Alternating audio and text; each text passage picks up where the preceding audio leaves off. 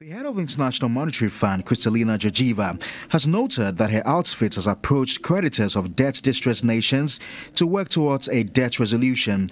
According to her, the main reason for this push is urgency relative to the need to curb the chances of debt-distress contagion at a crucial time for the global economy. In an interview with an American broadcaster, CBS, Georgieva listed the currently distressed nations, which include Ghana, three other African countries, as well as Lebanon, Suriname, and Sri Lanka.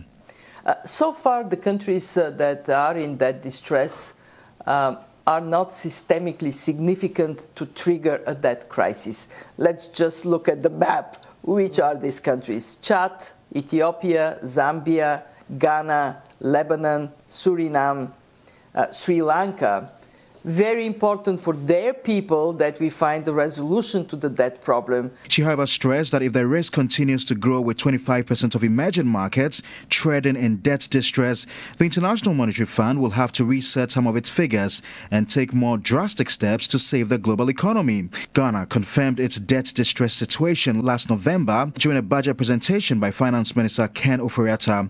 Government has also arrived at a staff level agreement for some 3 billion US dollars facility to help shore up the economy.